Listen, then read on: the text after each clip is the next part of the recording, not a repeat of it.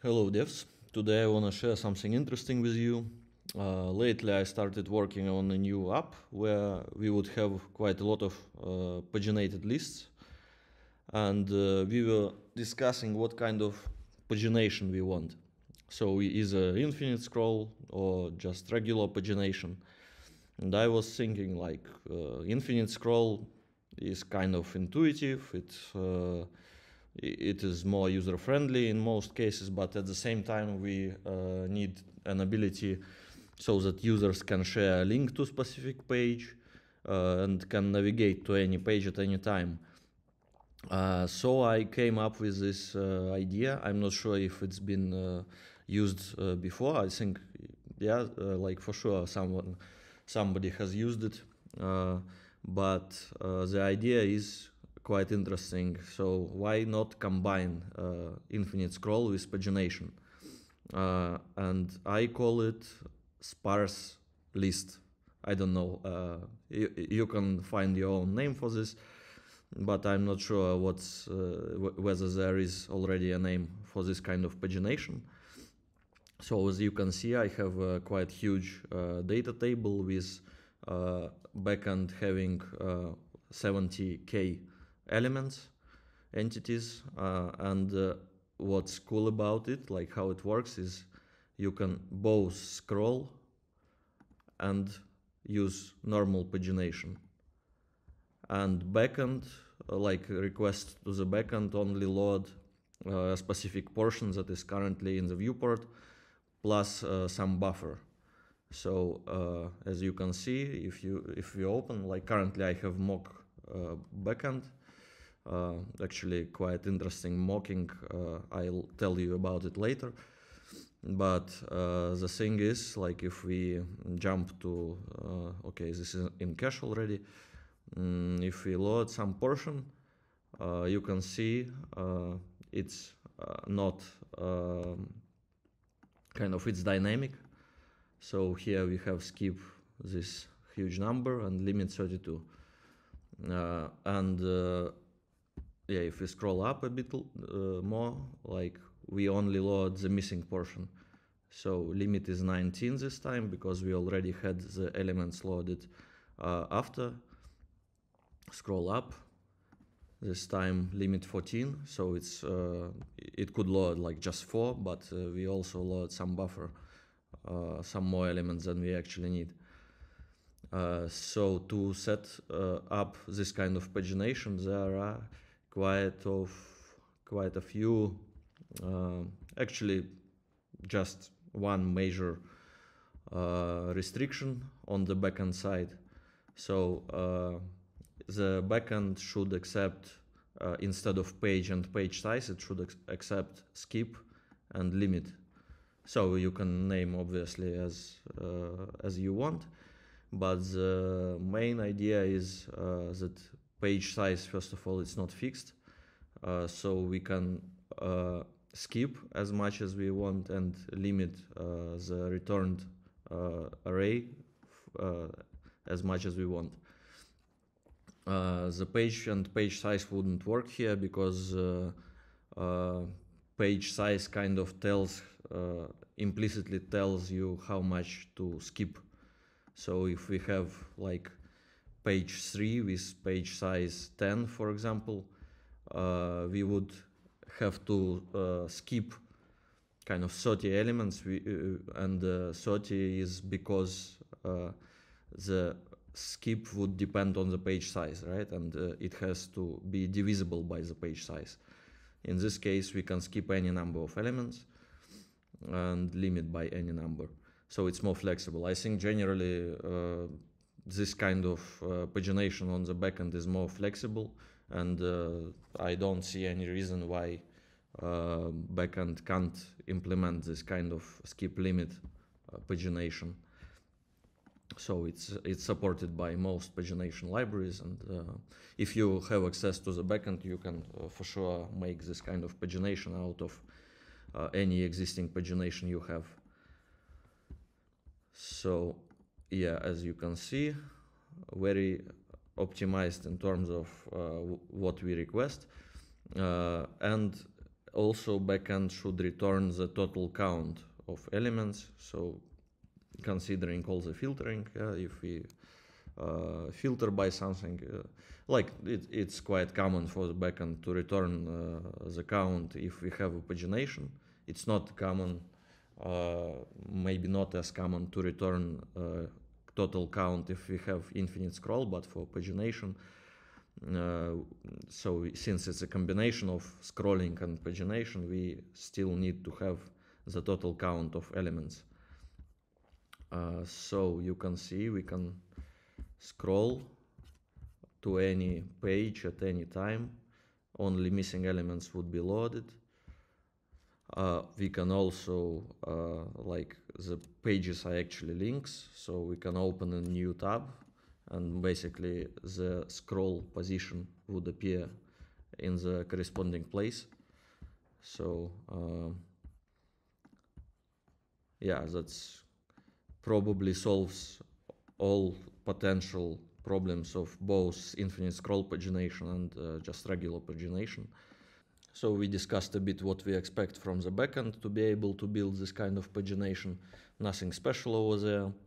Uh, but hopefully you can see the benefits uh, of of it. So to recap, uh, we are able both to scroll to any page, to jump to any page at any time, and we request only the portion we need.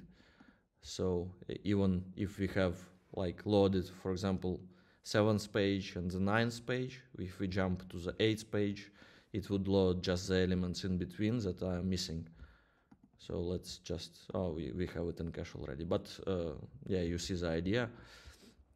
It's very flexible. We can share links uh, to any scroll position, uh, open a new tab, and table would be scrolled immediately to the portion we shared.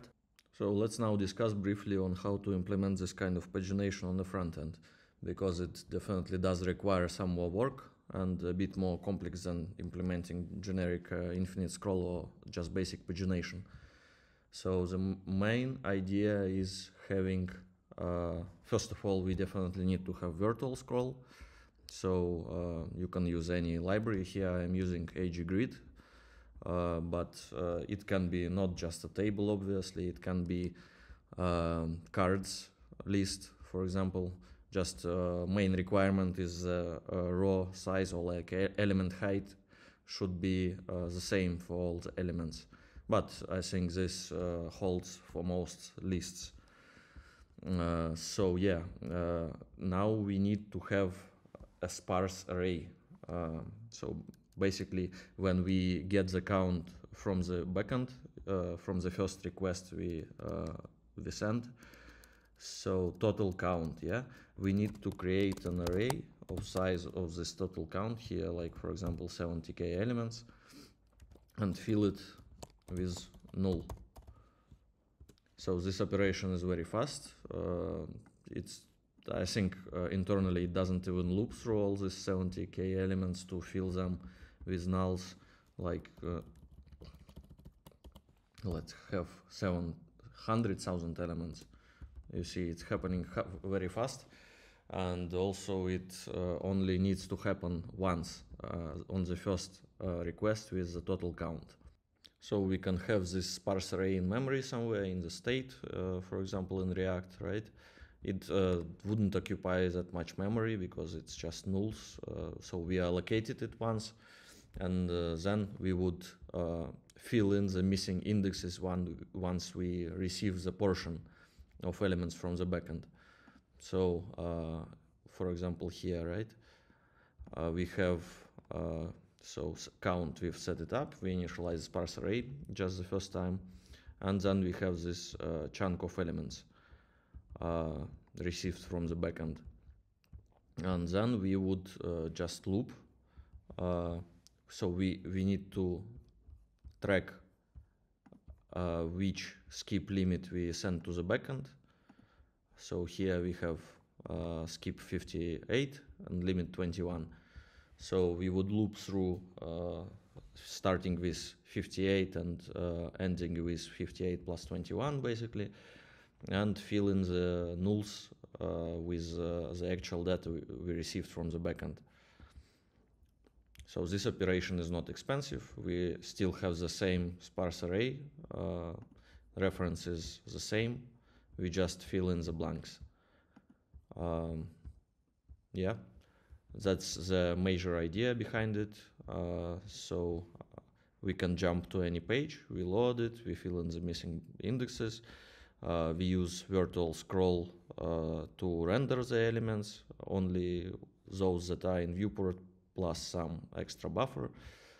And this way, uh, yeah, we can both scroll and uh, jump to any page and as well as uh, share a link to a specific scroll position uh, using skip and limit. Um, yeah, uh, let me know in the comments if you want to see like the actual implementation. as a brief note, I'm using here React query as well to cache all the received data. So uh, I have separate cache keys, obviously, for each uh, sorting uh, and for each filtering. But if I uh, reuse the same sorting filtering, I uh, get the data instantly. Mm, so we we can also consider like user behavior in such uh, scenarios where like a normal user won't, won't do this kind of stuff normally, right? Like, uh, so uh, this should be uh, optimized enough for most normal users. there are, of course, rooms for improvement. For example, like I could not fill it with null. Maybe that takes some time. Uh, here, like the empty state of the array is some special property, like some special placeholder for a missing value. Uh, so uh, if you have uh, some custom rendering, you could use this as well. Like that would probably be more complex because you can't loop through empty empties, right? But you can you can still do it. Like I remember in one company I was doing something like this. Uh, this is uh, just one optimization that comes to mind.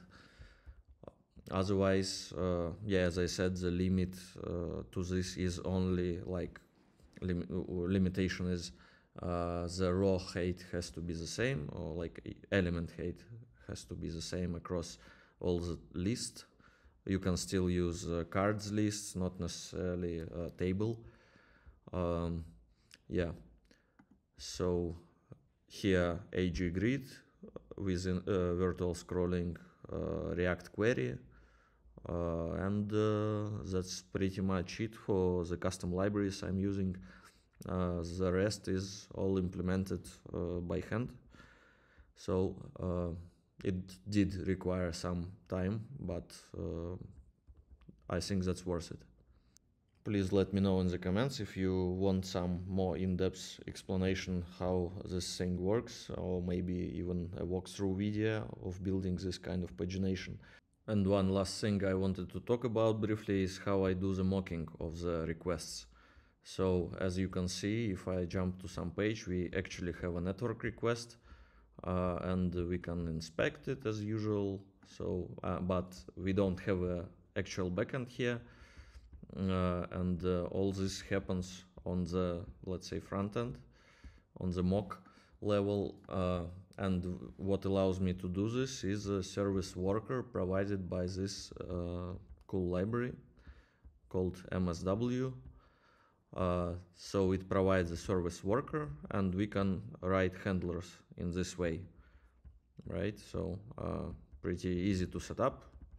I've probably spent just half an hour to uh, get around it and uh, just to understand how all this works and set it up in a monorepo environment, which is normally more complex than just setting up in a, normal project. Uh, so it's pretty cool to track it. However, it uh, does have a small pitfall. Uh, so I have a huge list of seven, 70,000 elements here. And uh, sorting and filtering of these lists uh, take some time. Uh, if they happen on the main thread, they would uh, block UI for some time uh, that uh, caused freezes. But what I did is moved uh, the handlers logic to a web workers. So although service worker potentially would run on in a separate thread, but the handlers logic of this MSW library uh, happens in the main thread, unfortunately. Uh, so uh, moving uh, this uh, logic of generating entities and sorting them to a web worker made it possible to actually imitate the real backend without blocking the main thread. Uh, yeah, so just a quick idea on how you could mock something in a real cool way. I also use IndexedDB here uh, so that uh, when I re reinitialize the application, uh, like open it in a new tab, for example, entities uh, stay the same. So it generates them only once and then looks up in IndexedDB. Um, yeah, so I might also release another video about Uh, mocking specifically if you are interested. So just let me know in the comments. And thank you for watching.